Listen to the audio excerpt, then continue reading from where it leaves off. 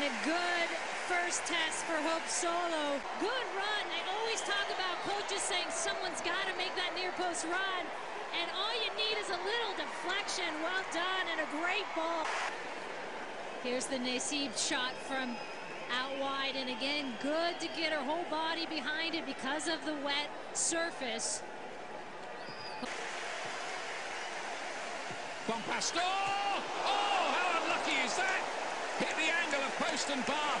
Such an attacking presence. Mind you, this is their left back.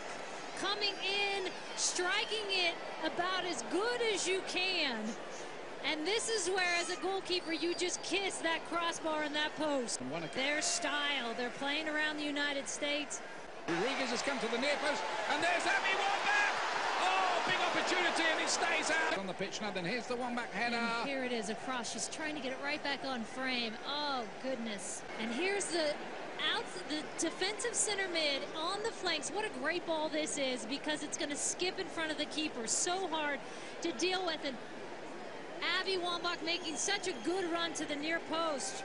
What a good defensive play by Bompastor there. How close was that from Abby Wambach? I thought, no way. And then that one just kept having life. And here's the danger of a Carli Lloyd, though, because she can rip through midfield. She loves to hit it dense. And worth a chance again with this rain. It's still misty. And you can see Christie Rampone on that backside.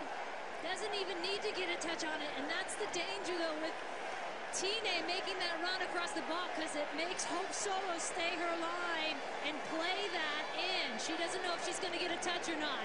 Beautiful run. Rapinoe.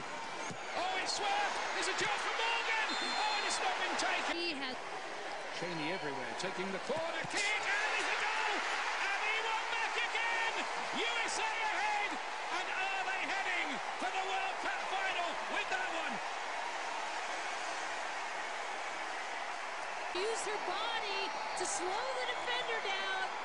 Cheney floating it into that back post, and France just can't handle her size and her physical dominance. Sapowicz coming. She's got to get something on that, the goalkeeper for France, if she's going to come like that. And she finished this one. Oh, it's a splendid goal. Alex Morgan, 3-1, USA. She's still able to just deftly lift it up over the keeper. What a nice finish by Alex Morgan to recognize Sapowicz has gone down. I'm going to try and just chip it over her and finish this game off because this is now a huge hole to climb for France. World Cup final for the first time in 12 years since those glory days of 1999 and maybe this team are going to party like it's 1999. The end of the match is saluted by members of Task Force Bayonet, the 170th Infantry Combat Team. 6,700 miles away.